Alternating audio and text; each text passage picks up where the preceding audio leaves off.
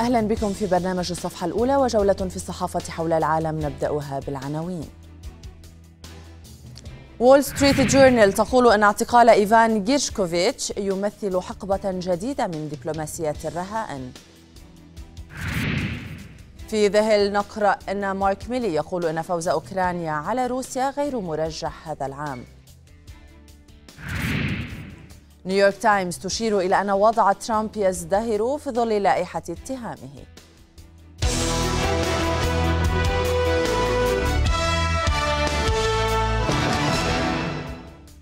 اعتقال مراسل صحيفة وول ستريت جورنال في روسيا هو الأحدث في قائمة متزايدة من الأمريكيين الذين تم اعتقالهم من قبل حكومات أجنبية بهدف كسب النفوذ مع واشنطن. صحيفة وول ستريت جورنال تناولت الموضوع تحت عنوان اعتقال إيفان جيرشكوفيتش يمثل حقبة جديدة من دبلوماسية الرهائن. ذكرت الصحيفة أن وزير الخارجية الأمريكي أنتوني بلينكين يضغط على نظيره الروسي سيرجي لافروف للإفراج عن مراسل صحيفة وول ستريت جورنال المحتجز مؤخرا إيفان جيرشكوفيتش عقب اعتقاله الأسبوع الماضي بتهمة التجسس. وبحسب الصحيفة لا يعرف سوى القليل عن حالة جيشكوفيتش أو سلامته منذ أن تم احتجازه يوم الأربعاء من قبل ضباط في جهاز الأمن الفيدرالي الروسي بينما كان في مهمة خارج موسكو. وطالبت وزارة الخارجية بالسماح للمسؤولين القنصليين بزيارة الصحفي للتأكد من سلامته والحصول على أكبر قدر ممكن من المعلومات حول ظروفه. تقول الصحيفة أن الحكومات الأجنبية اعتقلت أعدادا من الأمريكيين في السنوات الأخيرة بتهم تعتبرها الولايات المتحدة اتهامات وهمية أو مسيسة أكثر مما تم أسره من قبل الجماعات الإرهابية أو العصابات الإجرامية وفقا للسلطات الأمريكية وتقييمات خاصة. وتضيف الصحيفة أن آخر هؤلاء الأمريكيين هو جيرشكوفيتش الذي يدشن اعتقاله حقبة جديدة من دبلوماسيات الرهائن بهدف الضغط على إدارة الرئيس الأمريكي جو بايدن وكسب نفوذ في العلاقة مع واشنطن. ويشير المسؤولون الأمريكيون الحاليون والسابقون إلى أن احتجاز روسيا لصحفي أمريكي هو خطوة وقحة لا سيما عندما يكون مصحوبا باتهام بالتجسس.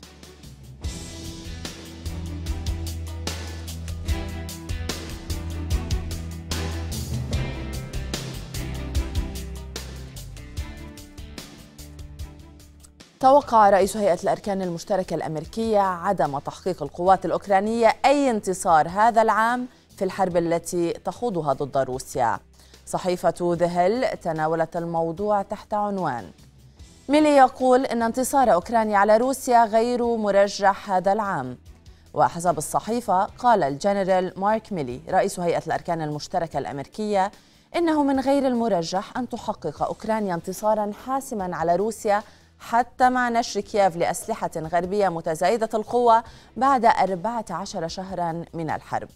أشارت الصحيفة إلى قول ميلي بأن طرد عشرات الألاف من الجنود الروس من المناطق المحتلة من البلاد سيكون مهمة عسكرية صعبة للغاية للقوات المسلحة الأوكرانية مضيفا أنه لا يعتقد أن تحقق أوكرانيا انتصارا كاسحا في المدى القريب. أكد ميلي أيضا أن واشنطن رفضت طلبات المسؤولين الأوكرانيين بإرسال صواريخ يبلغ مداها 190 ميلا ويمكن أن تسمح لكييف باستهداف مقر الأسطول الروسي في البحر الأسود في شبه جزيرة القرم. وأكدت واشنطن أن الأسلحة التي قدمتها بالفعل قوية بما يكفي. كما أثار ميلي مخاوف بشأن استنفاد مخزونات الأسلحة الأمريكية حيث أخبر لجنة القوات المسلحة بمجلس النواب الأسبوع الماضي أن الولايات المتحدة أمامها طريق طويل لتقطعه لتعزيز مخزوناتها من الذخائر وضمان استعداد البلاد لأي حرب واسعة النطاق.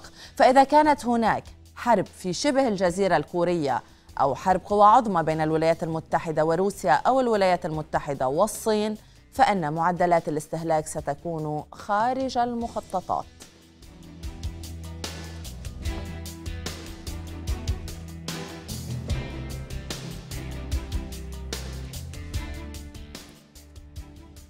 ينضم إلينا من بيروت الدكتور سامي نادر مدير مركز المشرق للدراسات الاستراتيجية. أهلا بك معنا دوما عبر شاشة الغد. دكتور بكم. سامي بداية ما العوامل التي دفعت مارك ميلي للقول أنه أوكرانيا لن تنتصر في هذه الحرب خلال هذا العام ونحن لا نزال في الربع الأول من من هذا العام وفي ظل كل المد العسكري الذي التي تحصل عليه كييف.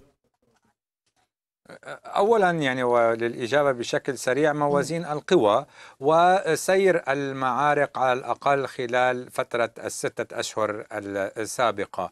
فموازين آه، القوى لا تسمح بالقول أن أوكرانيا بإمكانها آه، استعادة كامل آه، كامل الأراضي التي فقدتها أو المناطق التي فقدت السيطرة عليها. هذا من جهة. من جهة ثانية في الفترة الأخيرة كان هنالك تقدم حتى لو بطيء للقوات الروسية ولذلك أسباب عديدة. قد يكون السبب الأول هو التباطؤ بمد الأوكرانيين بالسلاح النوعي. صحيح أن هذه المساعدات أقرت ولكنها لم تصل بعد بشكل كامل أو بالزخم التي تريده القوات الأوكرانية بالإضافة إلى عامل جدا أساسي وقد يكون العامل الثاني هو أن روسيا لا يمكنها أن تنكسر في هذه المعركة. قد تخسر في آه، النقاط ولكن في النهاية آه، نهاية هذه الحرب في آه، في المحصلة نهاية هذه الحرب ستكون عبر المفاوضات. هكذا تنتهي كل الحروب عبر المفاوضات. النقطة طيب. الثالثة وقد تكون هي النقطة الأهم هي أن الأوكرانيين رفعوا السقف عاليا حينما طالبوا باستعادة جزيرة القرم. وهذا بحد ذاته آه، آه، نقطة جدا آه، صعبة أو هدف صعب المنال. وهذا عنصر أساسي قد دفع بالجنرال مالي إلى القول أو التنبؤ.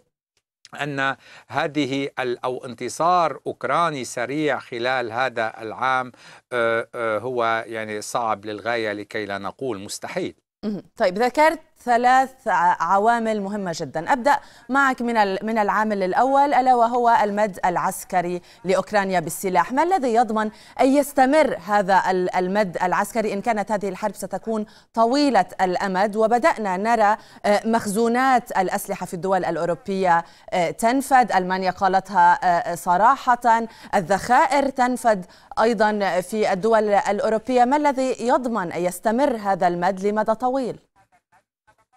هذا سؤال مهم جدا وعناصر الإجابة من داخله يعني هنالك نوعا آه، ما آه، بداية تململ آه، داخل هذه المجتمعات هنالك حكومات تحت ضغط مالي كبير. آه، هي بالكاد تستطيع عبر موازناتها أن تفي بحاجات شعوبها خاصة مع التضخم الذي يجتاح العالم. اذا هنالك ضغوط تأتي هذه الحرب الأوكرانية بعد أزمة كوفيد وبعد أزمة 2008 التي ما زالت أوروبا تلملم الجراح ولم تشفى بعد بعد من آثار آه، هذه الأزمة أدت هذه الحرب الأوكرانية وبالرغم من التهديد الوجودي التي آه، تشكله على آه، هذه الحكومات قد التزمت هذه الحكومات اليوم بالدفاع عن أمن أوروبا ولكنها بالوقت عينه.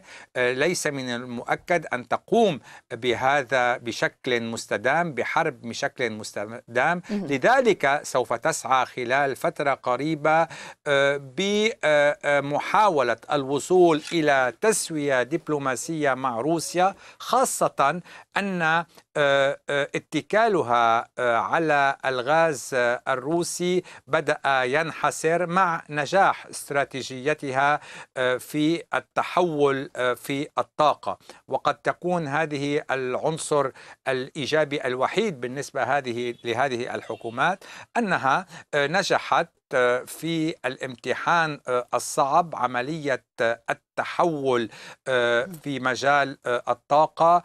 والتخفيف من الاتكال على على الغاز الروسي. إذا والتخفيف من الانكشاف جيو اقتصاديا على موسكو.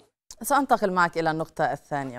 بعد أن تم استخدام المفتاح الصيني في الشرق الأوسط هل يمكن للصين أن تكون آه، آه، الضامنة لنهاية الحرب الروسية الأوكرانية. يعني نرى في, في الآونة الأخيرة آه، الاتحاد الأوروبي يتجه كثيرا إلى الصين زيارات لماكرون لبيربوك حث الصين على لعب دور ربما محوري في هذه الحرب. كنا نتابع بالسابق الرئيس الأوكراني فلاديمير زيلينسكي كان يرفض الخطة الصينية اليوم. يتوجه إلى الرئيس الصيني أنه فلنتفاوض. هل يمكن للصين أن تلعب هذا الدور؟ لا يمكن للصين أن تلعب دور الوسيط آه، لأنها أخذت طرفا في هذه آه، المعركة ورأيناه بشكل واضح خلال القمة الروسية الصينية. ولكن بإمكان الصين أن تشكل آه، قاطرة دفع قوية جدا من أجل الوصول إلى تسوية دبلوماسية. لأن لديها رافعات تأثير على روسيا كما رأينا أن لديها رافعات تأثير على آه، إيران وقد دفعتها إلى الوصول إلى اتفاق مع المملكة العربية السعودية لأنها آه، آه، هي المصدر الأساسي للصادرات الإيرانية. كذلك الأمر بالنسبة لروسيا. لا يمكن لروسيا أن لا تستجيب لمطالب الصين. هذا إن أرادت الصين أن تدفع باتجاه تسوية دبلوماسية. وقد أعتقد أن الصين لديها مصلحة في ذلك لأنها تريد آه، أن آه، تقفل أو آه، تريد نهاية هذه الحرب بسبب تداعيات هذه الحرب على الاقتصاد العالمي وبالتالي على الاقتصاد الصيني تحديدا. طيب إن استمر الوضع على ما هو عليه في هذه الآونة الدعم العسكري الغربي مستمر للولايات المتحدة من مستمر لكييف. من جهة أخرى نرى أن آه، روسيا تعمل على توسيع إنتاج آه، الأسلحة على نشر أسلحة نووية في بيلاروسيا وغيرها. إلى أي مدى يمكن لاستمرار هذا الوضع الراهن أن يصعد الأمور فعلا في المرحلة آه، المقبلة أن أن تتسع دائرة هذه الحرب ربما لتشمل بيلاروسيا وبولندا في المرحلة الأولى الاتحاد الناتو الاتحاد الأوروبي ربما وتصبح آه، يعني حرب شاملة. نعم يعني هنالك آه، مخاطر أن أن أن يحصل انزلاق ما يؤدي إلى آه، استعمال للسلاح آه، النووي. هذا اليوم هذا الاحتمال صحيح أنه بعيد ولكنه وارد. على الأقل هو وارد أكثر من الفترة السابقة فترة ما قبل الحرب أو بدايات هذه الحرب. أنا أعتقد أن هنالك احتمال في ظل هذه الحرب الباردة القائمة أن تظل آه، هذه آه، الحرب مشتعلة ولكن بشكل محدود. آه، حرب تستنزف القوى المنخرطة بها تستنزف روسيا من جهة وشركاء روسيا من جهة ثانية وتستنزف أيضا الطرف الأوروبي المساند لأوكرانيا وتكرس دور الولايات المتحدة كضامن لأمن هذه القاره قارة أه، ولكن لا أعتقد أن هنالك أحد لديه مصلحة في حرب مفتوحة شاملة. بالتأكيد لا ليس لأمريكا مصلحة في هذا الأمر ولا للصين ولا حتى لروسيا مصلحة في حرب مفتوحة. ولكن نعم هنالك احتمال من انزلاق ربما انزلاق قد يؤدي بالنهاية إلى تسريع التسوية الدبلوماسية. طيب إذا إن بقيت الحرب على ما هي عليه يعني حرب معارك تراجع وتقدم في بعض المناطق. والجانبان الروسي والاوكراني يتفقان إنه هذه آه، الحرب ستكون طويلة ولن تكون قصيرة آه، المدى. ربما هذا العامل المشترك بينهما. إلى أي مدى تتوقع أن تمتد مثل هذه معارك الاستنزاف إن أردنا القول؟ قد تمتد إلى بؤر أخرى إلى ساحات أخرى. يعني هنالك ساحات المواجهة بين الولايات المتحدة وروسيا لا تنحصر فقط على في الساحة الأوكرانية. هنالك ساحات أخرى. خذي مثلا الساحة السورية.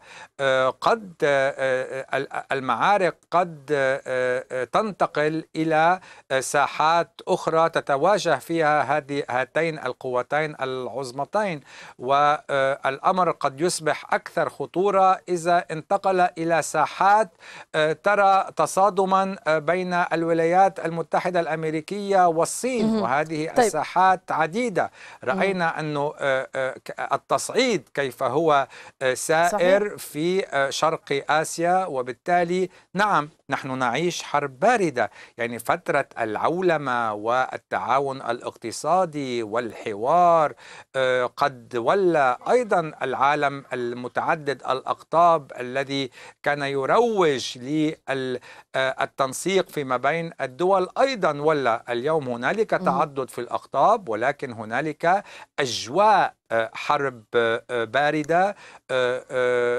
قد تقود إلى صدامات عسكرية دكتور سامي البعض كان يعتبر حتى أنه هذه الحرب الروسية الأوكرانية بمثابة جس نبض أو اختبار على الأراضي الأوكرانية للقوى آه، العظمى في حال اندلعت آه، آه، الحرب الكبيرة هل توافق هذا هذا الرأي؟ نعم يعني هنالك بالتأكيد شبح عملية صينية على تايوان وربما هذا يفسر خروج الصين عن مبدئها التقليدي التاريخي بعدم تدخل أي دولة بشؤون دولة أخرى. ولذلك وبالرغم من هذا المبدأ التاريخي ابتنعت الصين عن انتقاد العملية الروسية في الداخل الاوكراني وبالتالي هذا يشي بإمكانية حدوث عملية مماثلة تقوم بها آه، الصين آه، على آه، تايوان. وهذا الأمر أيضا قد يقود دول أخرى من القوى الوازنة أن تحاول أن تحسم نزاعات نزاعات قائمة بينها وبين دول أخرى بالطرق العسكرية وتحتزي بالمثل الروسي في أوكرانيا. طيب دكتور سامي ما العوامل التي يمكن أن تنهي هذه الحرب اليوم؟ يعني آه، كانت ستحسم بالمفاوضات. نرى في الوقت الراهن لا أحد مستعد للتنازل. إن كانت ستحسم على أرض المعركة نرى أنه أرض المعارك ورغم كل المد العسكري أوكرانيا لم تحرز انتصارات كبيرة وكذلك الجانب الروسي. يعني نرى آه، تقدم وتراجع. آه، ما الذي يمكن أن يحسمها ما العوامل ربما في ال... أعتقد هنالك عاملان أساسيان. آه، أولا العامل الأول هو الضغط الصيني على روسيا. حينما تدرك الصين أن ليس لديها مصلحة نهائيا باستمرار هذه الحرب ولديها رافعات تأثير آه، على آه، آه، شريكها على شريكها الروسي. والعامل الثاني مشابه ولكن يأتي من واشنطن. حينما تدرك واشنطن أن الطرف الأوكراني لا يمكنه إنجاز أكثر ما أنجز أن الناتو توسع لكي يضم حليفين إضافيين وبالتالي لابد من تسوية على الأقل تحفظ ماء الوجه لموسكو وبالتالي تأخذ الأمور نحو تسوية مستدامة بضغطين متوازيين من القوتين العظمتين. اليوم الصين من جهة والولايات المتحدة الأمريكية من جهة ثانية. أشكرك من بيروت الدكتور سامي نادر مدير مركز المشرق للدراسات الاستراتيجية. شكرا جزيلا لك على هذه المداخلة.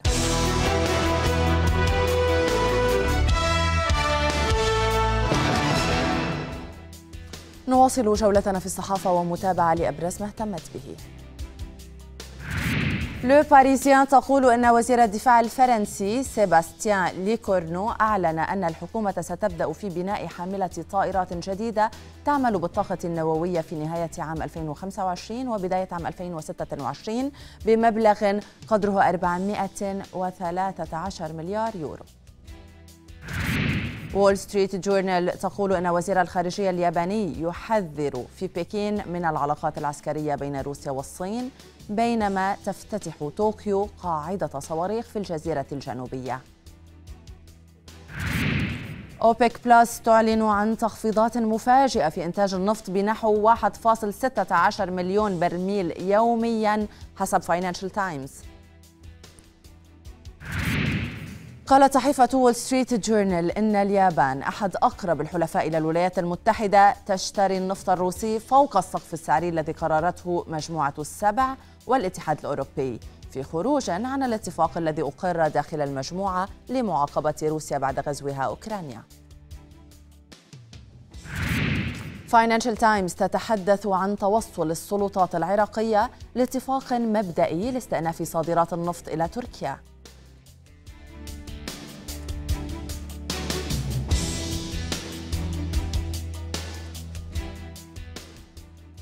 كانت شهية الرئيس الأمريكي السابق دونالد ترامب للانتباه أساسية لهويته لعقود.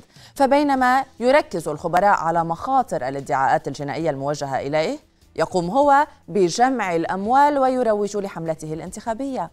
صحيفة نيويورك تايمز تناولت الموضوع في مقال نشرته بعنوان وضع ترامب يزدهر في ظل لائحة اتهامه.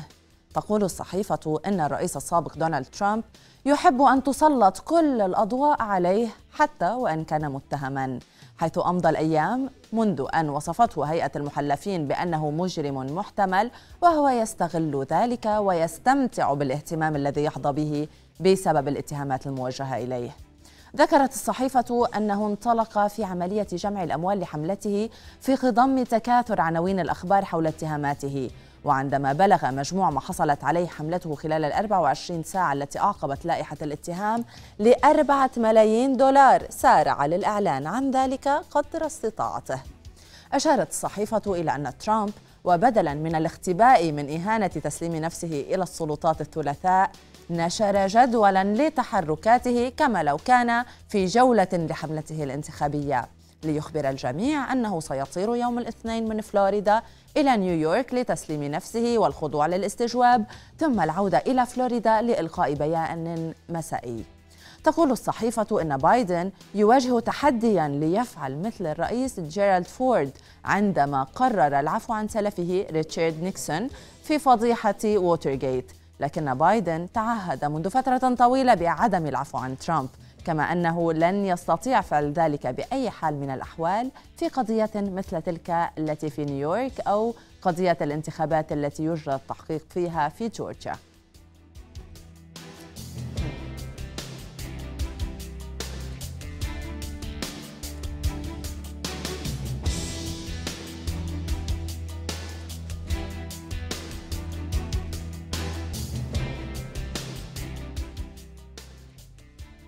أعلنت وزارة الخارجية الصينية أن الرئيس الفرنسي إيمانويل ماكرون سيزور الصين في الفترة من الخامس إلى السابع من أبريل. وكالة بلومبرغ تحدثت عن هذه الزيارة في تقرير تحت عنوان. ماكرون يتجه إلى الصين سعيا وراء تحول كبير في أوكرانيا. قالت الوكالة إنه عندما يلتقي الرئيس الفرنسي إيمانويل ماكرون مع شي جين بينغ في بكين هذا الأسبوع سيحاول إقناع نظيره الصيني بتغيير موقفه من غزو روسيا لأوكرانيا مع توضيح العلاقة التجارية الحساسة التي أصبحت مثيرة للجدل بشكل متزايد. بحسب بلومبرغ قال مسؤول فرنسي كبير إن الصين التي عزز موقفها الحيادي حرب الرئيس الروسي فلاديمير بوتين هي الدولة الوحيدة التي يمكن أن تغير قواعد اللعبة في الصراع بالنظر إلى تأثيرها على موسكو. مضيفا أن كل ما تفعله الصين يمكن أن يكون له تأثير كبير على الصراع. استغل تشي زيارة استغرقت يومين لموسكو الشهر الماضي للتأكيد على علاقته الحميمة مع بوتين بينما أشاد الزعيم الروسي بمخطط الصين المكون من 12 نقطة لإنهاء الصراع. ورفضت الدول الأوروبية في الغالب الاقتراح لكن فرنسا ترى أن الصين قادرة على تمديد الحوار مع كييف. وقالت الوكالة إنه بينما اتخذت واشنطن موقفا متشددا بشأن العلاقات مع الصين حيث يتصادم البلدان حول كل شيء من التجارة إلى التكنولوجيا إلى بحر الصين الجنوبي فإن فرنسا ليس لديها نية لإنهاء العلاقة مع الصين.